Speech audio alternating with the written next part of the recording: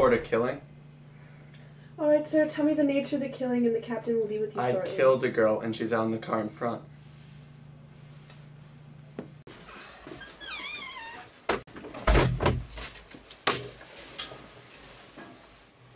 Tom Cordry, Stanford sophomore, Eagle Scout, captain of the Stanford ROTC.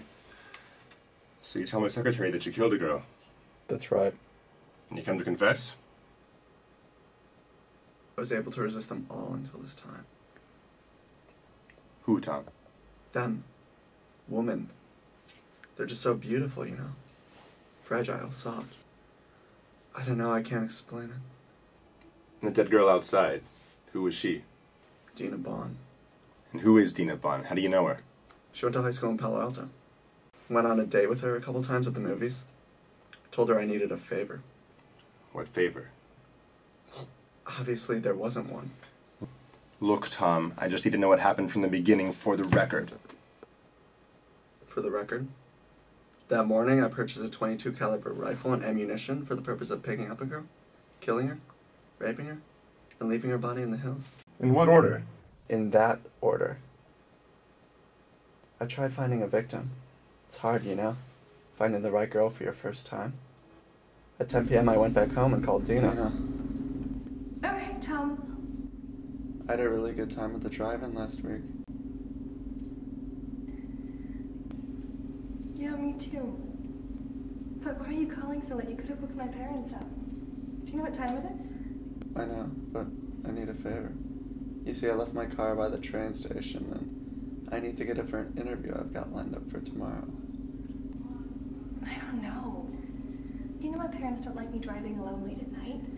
Besides, if they wake up and I'm not here, You won't be by yourself. I'll be there with you.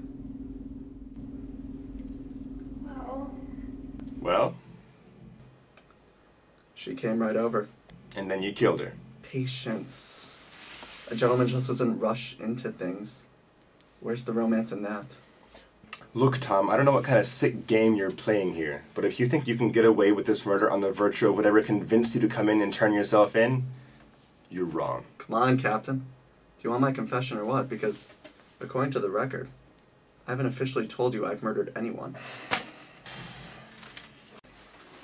As I was saying, when she came over, I told her I needed to head it over to the ROTC building to return my rifle. Since she wasn't too familiar with campus, I told her I'd drive. We headed out into the hills behind Lake Lag. I took her out to the woods. At first, she was confused. Then she tried pleading for her life. It was ugly, it really was. At that point, took her all night to die. And you mentioned you intended on raping this girl? Did you sexually assault Deena Bonn? No, You expect me to believe that after all you've told me here, that you didn't sexually assault her? I didn't. Well, Tom, I've got enough on the record to put you away for a long time. Captain Salt, don't you want to know why I didn't rape her?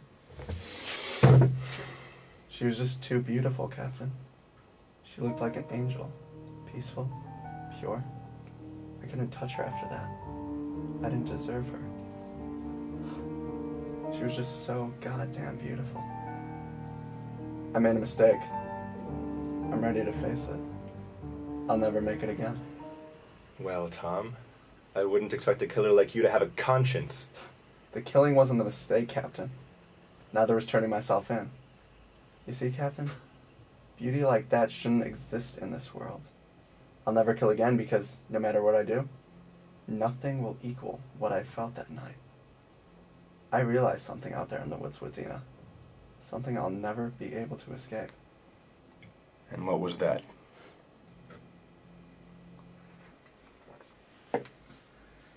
That's something that can't be put on the record.